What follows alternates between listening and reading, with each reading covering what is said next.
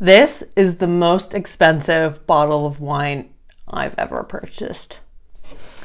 This is the Cloudsley Cellars 2017 Chardonnay Foxcroft Vineyard. This is priced at $50. Is it worth it? We're gonna see. I Chardonnays are really hit and miss for me. So hopefully I like this one and I didn't waste 50 bucks. smells like Chardonnay. Hmm.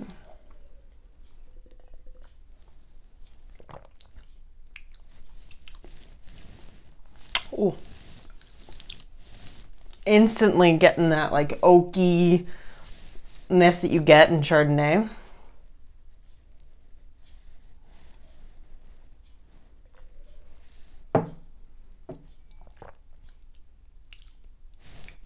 Oh, what is that?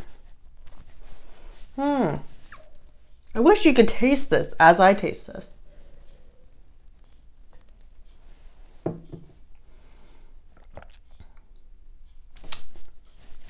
It was a little tart, but only for a quick second.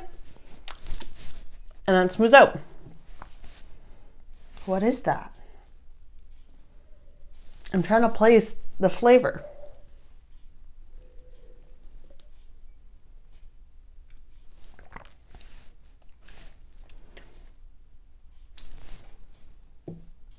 I've had like I, it's a familiar flavor.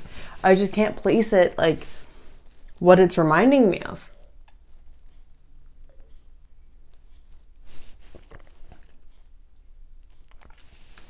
This is nice though. I feel like this is a pretty average Chardonnay for 50 bucks.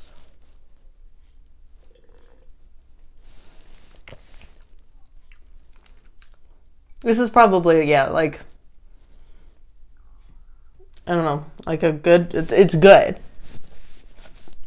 I'm trying to place that flavor and I can't.